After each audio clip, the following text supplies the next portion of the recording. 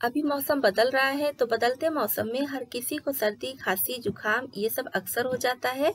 तो दोस्तों, आज मैं आपके लिए ऐसे काढ़े की रेसिपी लेके आई हूँ, जो आप सिर्फ़ एक चुटकी डालेंगे और काढ़ा बनकर तैयार हो जाएगा। बिना किसी ताम झाम के, बिना किसी मेहनत के आप काढ़ा बना सकते हैं। ये काढ़ा आपकी इम्यूनिटी को मज़बूत करेगा, आपकी पाचन क्रिया भी सही रहेगी और कई बीमारियों से लड़ने की क्षमता इस काढ़े में है। तो चलिए जल्दी से काढ़े की रेसिपी देख लेते हैं।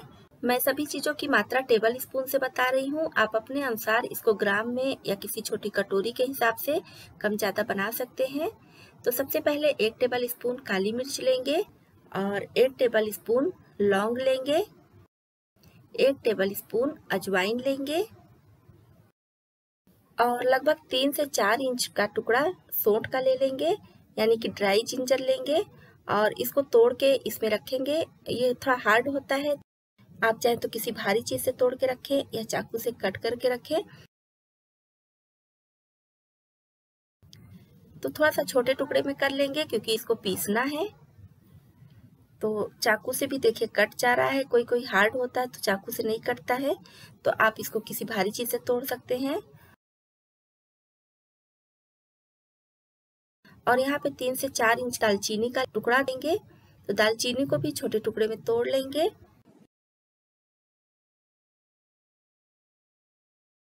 अब एक टेबल स्पून लेंगे मुलेठी तो ये मुलेठी लकड़ी के जैसा होता है। तो आप चाहे तो अगर आपको लकड़ी वाला मिल जा रहा है तो उसको ले लीजिए। मैं यहाँ पे पतंजलि ब्रांड का मुलेठी ली हूँ। ये दीप या मुलेठी नाम से आता है और थर्टी रुपीज़ में सौ ग्राम का पैकेट आता है। तो आप चाहे तो इसको ले लें या तो जो लकड़ी वाला आता है उसको भी ले सकते हैं। और पाँच छोटे साइज़ का तेज पत्ता लेंगे। इसको भी छोटे टुकड़े में तोड़ के इसमें डालेंगे। तो अभी हम इसको मिक्सी जार में डाल लेंगे। तो अब इसी में डाल लेंगे एक टेबल स्पून हल्दी पाउडर। सभी चीज़ों की मात्रा मैंने टेबल स्पून ऊपर तक भर के फिर ली है। अभी हम इसमें कुछ चीज़ें और डालेंगे, लेकिन इस समय नहीं डालेंगे, बाद में डालेंगे। और मैंने देखिए, पहले से ही काढ़े का पाउडर बनाकर रखा था तो ये पूरा डिब्बा भर के था। और अभी इतना बच्चा है तो मुझे अपने लिए बनाना था तो मैंने सोचा कि आप लोगों के साथ भी इसकी रेसिपी शेयर कर दें, ताकि आप लोगों को भी इससे फ़ायदा मिले। अभी कोरोना वायरस के चलते आप लोग भी काढ़ा बनाकर पीते ही होंगे, लेकिन हो सकता है आप लोगों का तरीका थोड़ा सा अलग हो। और रोज रोज सभी चीज़ों को निकालना, कूटना या पीसना काफ़ी झंझट लगता है तो जल्दी काढ़ा बनाने का मन भी नहीं करता है। तो एक बार अगर इस तरह से पाउडर बनाकर रख लेंगे तो ये काढ़ा बहुत आसानी से बन जाता है।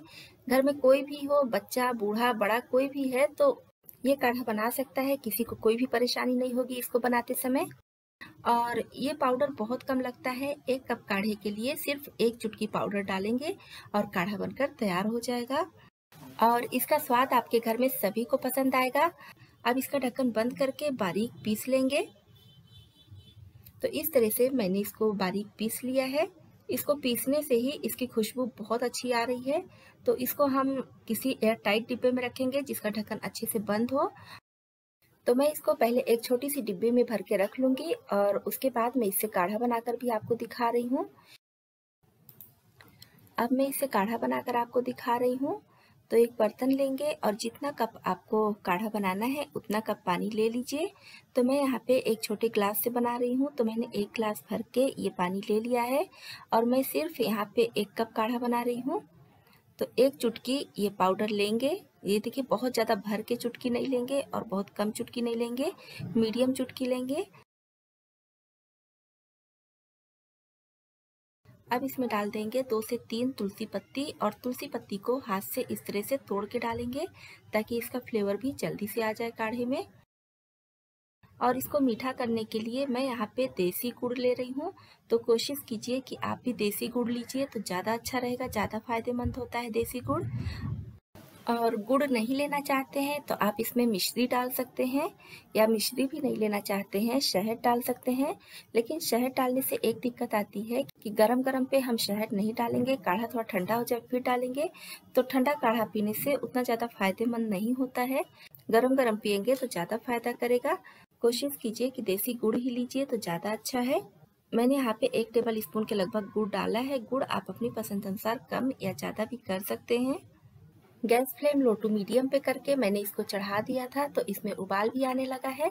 तो बस इसको मीडियम गैस फ्लेम पे एक मिनट तक उबलने देंगे। बहुत ज़्यादा देर उबालने की ज़रूरत नहीं है, क्योंकि सभी चीज़ें इसमें पिसी हुई पड़ी हैं और तुलसी की पत्ती हमने तोड़ के डाली है। तो सारे मसालों का फ्लेवर काढ़े में बहुत जल्दी से आ जाता है तो बस एक मिनट तक उबालेंगे इसको। तो एक मिनट हो गया है उबलते हुए। अब गैस फ्लेम ऑफ़ कर देंगे और अब इसमें डाल देंगे एक चौथाई टुकड़ा नींबू का रस। नींबू का रस आप अपनी पसंद अनुसार कम या ज़्यादा डाल सकते हैं। ध्यान रखेंगे कि गैस फ्लेम ऑफ़ करके तभी नींबू का रस डालेंगे, क्योंकि उबलते हुए किसी भी चीज़ में नींबू का रस नहीं डालना चाहिए। तो अब हम इसको छानेंगे। तो बहुत ही बढ़िया काढ़ा बना है। एक बार आप इसको ज़रूर बना के पीजिए। आपको पसंद आने के साथ साथ ये बहुत ही ज़्यादा फ़ायदेमंद भी होगा और इसमें कोई भी ऐसी चीज़ नहीं पड़ी है जो हमारे लिए नुकसानदायक हो या किसी भी चीज़ की मात्रा इतना ज़्यादा नहीं है जो नुकसान करे। तो दोस्तों, इस तरह से काढ़े के पाउडर से काढ़ा बनाकर आप ही पीजिए और सर्दी जुकाम खांसी, बुखार को अपने पास मत आने दीजिए। तो अगर आपको ये काढ़े की रेसिपी पसंद आई हो तो प्लीज़ लाइक का बटन ज़रूर दबाएँ और वीडियो को ज़्यादा से ज़्यादा शेयर करें।